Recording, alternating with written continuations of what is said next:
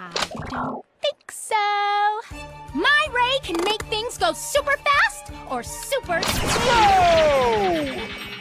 I'm very disappointed that you traded our bean machine for two beans.